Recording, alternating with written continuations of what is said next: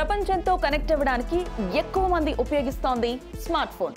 కానీ మనం మాట్లాడుకునే మాటల్ని మన స్మార్ట్ ఫోన్లు వింటే ఏం జరుగుతోంది? టెక్నాలజీకి సంబంధించినంత వరకు ఇదొక వివాదాస్పద అంశం. అడ్వర్టైజ్మెంట్స్ కోసం మన మాటల్ని స్మార్ట్ డివైస్ రికార్డ్ చేసే అవకాశం ఉందా? ఈ ప్రశ్నలకు సమాధానాలు తెలుసుకునేందుకు ఓ సెక్యూరిటీ కంపెనీ చేసిన ప్రయోగం ఏంటి అందులో బయటపడిన వాస్తవాలేంటి? Yes, I was talking to a friend about trainers, People were talking about a watch. Harley Davidson, Paper towels. Car. and I went onto my feed, uh, my Instagram, and within five ten minutes, it was one of the adverts that popped up on there.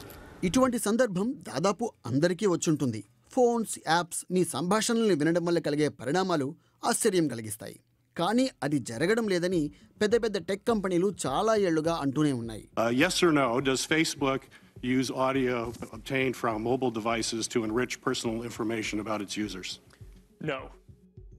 అయినా ఇప్పటికీ ఈ వివాదం కొనసాగుతోంది.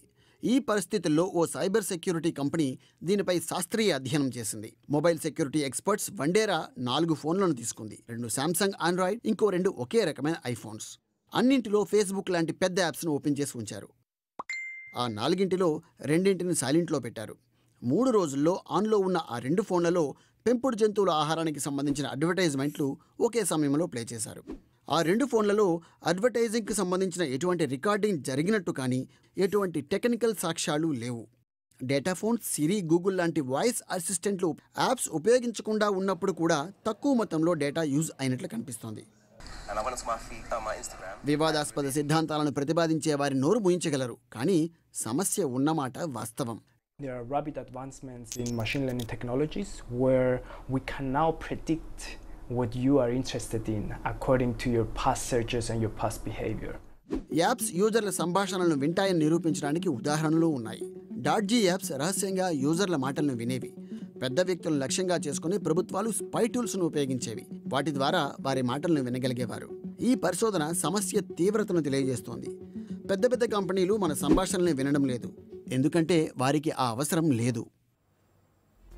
Social మీడియాలో behaviour ఆధారంగా promotions జరుగుతున్నాయని ఇప్పుడిప్పుడే యూజర్లకి అర్థమవుతోంది.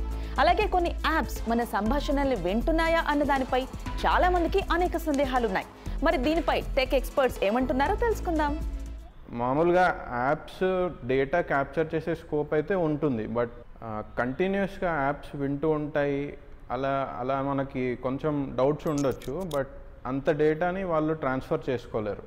అంటే ఇప్పుడు చూసుకుంటే రికార్డ్ చేస్తే ఆడియో మనకు అది ఎంబీస్లోకి వెళ్ళిపోద్ది ఈవెన్ ఫ్యూ మినిట్స్ అయినా అయినా. అంత డేటా వాళ్ళు నెట్వర్క్ త్రూ ట్రాన్స్ఫర్ చేసుకుంటూ ఉంటే మనకి ఫోన్ నుంచి కంటిన్యూస్గా తెలిసిపోతుంది అది సో ఆ- ఆ లెవెల్ ఆఫ్ ఇది ప్రైవసీ డిస్టర్బెన్స్ ఉండదు మనకి.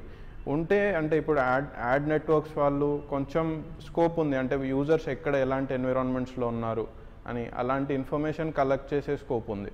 బట్ అది కూడా చాలా లిమిటెడ్గా ఉంటుంది.